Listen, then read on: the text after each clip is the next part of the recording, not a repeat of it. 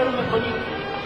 حق هم اگر می‌خواهیم برای شما این حق خواستن به معنای دشمنی با حزب اسلامی و جمعیت ما معتقد هستیم در اینجا مسئله افغانستان وقتی حل می‌شد که مردم و احزاب هم دیگر را تحمل بکنند. در صدد حد یکدیگر نباشد.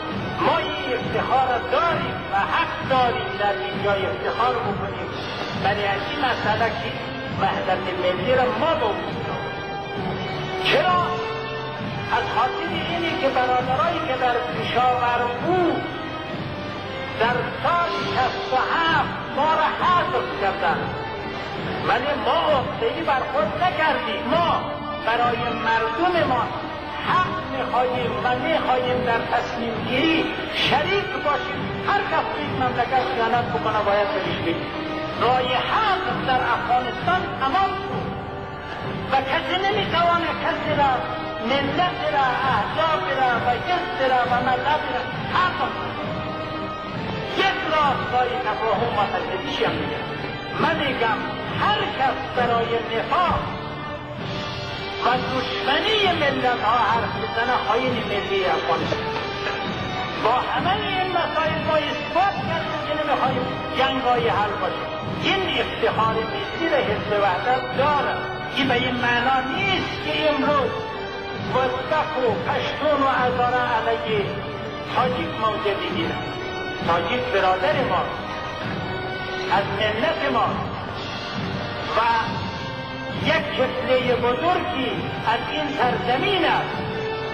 که به معنای دشمنی نیست.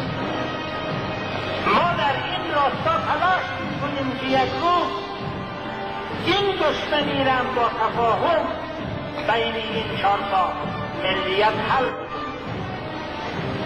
چهارده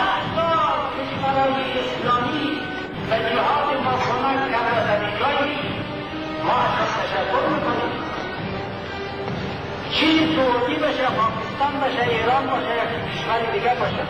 حق نمیدیم برای اینه که در مسائل داخلی ما دخالت می‌کنه با این موضوع با این روشنی.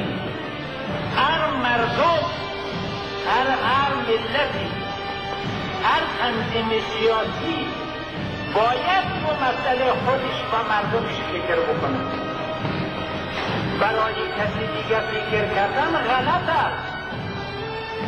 ما با همه تنظیم ها سر جنگ نداریم دوست هستیم با همه ملت ها سر دشمنی نداریم و دوست هستیم وحدت ملی را ما در افغانستان یک اصل می‌دانیم اگر دانسته و ندانسته برای مردم ما این مسئله را کسی مطرح بکنه این برای مردم ما ذلت است.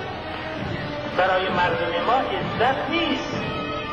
معنایش این است که ما توانایی زندگی و حقوق و دفاع از حقوق خود خود ما نداشته باشیم. چرا این مسئله را ما نگیم که دیگرا در کنار ما باشه؟ خوب است که ما بیاییم در بین مردم القا بکنیم که ما در کناری کی باشیم. این مسئله مسئله فکری انحرافی بیاید در اینجا. بگوید تعدادی از حزب اسلامی دفاع بکنم و تعدادی از جمعیت برای مردم ما فاجعه است. ما اینا را به عنوان خواهین ملی می‌شناسیم.